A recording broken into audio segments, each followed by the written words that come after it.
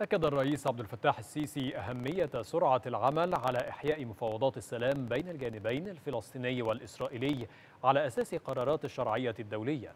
يأتي هذا بينما تتواصل التحركات المصرية في الأراضي الفلسطينية حيث يتوجه الوفد المصري صباح اليوم إلى قطاع غزة للقاء الفصائل الفلسطينية في إطار جهود تثبيت اتفاق وقف إطلاق النار من جانب القاهرة.